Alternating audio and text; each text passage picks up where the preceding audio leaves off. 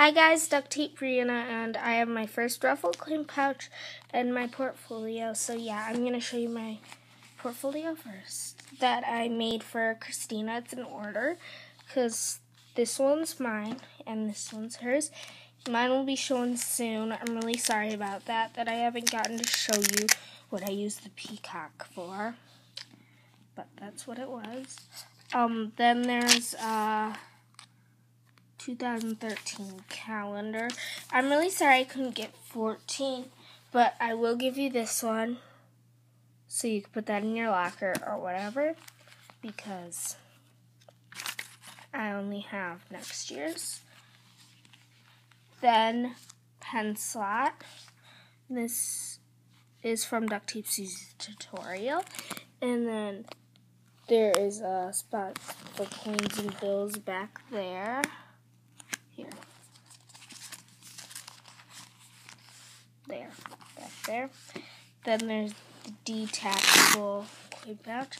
I don't have cards with me right now, but I'll show you what I do. So there's the ID card pocket, vertical. And then I do vertical, sorry for the shaky camera, and then three card pockets.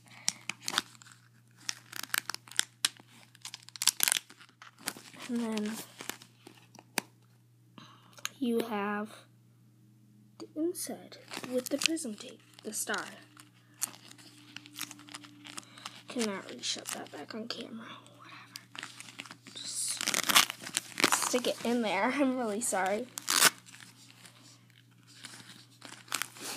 Okay, then the compos the mini composition book, which is held by that. So yeah, there's your order. I'm really sorry about the calendar thing. But yeah. And then my ruffle coin pouch, I used, um, I have a lot of this tape, so I used it. it is the Cotton Candy Clouds. Why didn't I get that? So yeah, and the reason why, um, if you want one, it's going to be $2. I'm really bad, but I hope to get really better. I hope to get better, but the reason why it's $2 is because each of these, each of these ruffles is 11 inches. So yeah, and then to keep it open, I just had a flower. Well, yeah.